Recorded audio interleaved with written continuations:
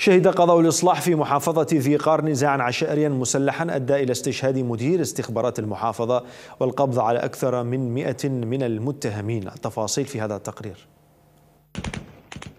ساعات عصيبة مرت على قضاء الإصلاح شرق محافظة ذي قار. شهدت استشهاد مدير استخبارات ذي قار بعد أن تجدد نزاع عشائري بين عشيرتين في القضاء.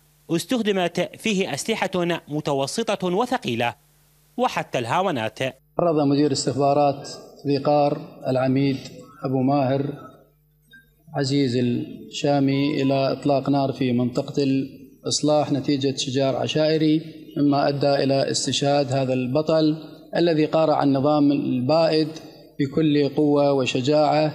يعتبر الشهيد حقيقة رمز من رموز القوات الأمنية في محافظة ذي قار تشييع رسمي شاركت به الحكومة المحلية وقيادات أمنية بعد ليلة مظلمة خاضتها القوات الأمنية لتتمكن بعدها من دخول القضاء واعتقال أكثر من 150 متهما لتفرض حظرا للتجوال في القضاء فيما أكد شيوخ عشائر ومراقبون دعمهم الكامل لفرض هيبة الدولة وحصر السلاح المنفلت. ونحن الآن نطالب الحكومة المحلية ودولة رئيس الوزراء بأخذ القصاص من الجنات الذين ارتكبوا هذه الجريمة بحق هذا الإنسان البطل المجاهد الذي خدم محافظة ذي قار لطيلة أعوام وسنوات.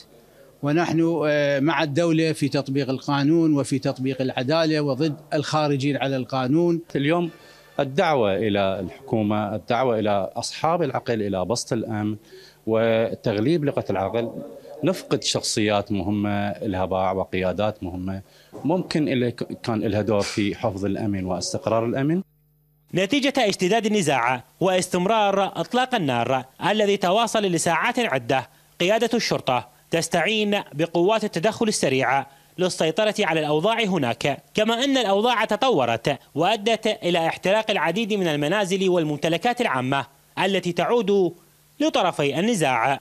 من ذي قار سعد الركابي قناة الفلوجة.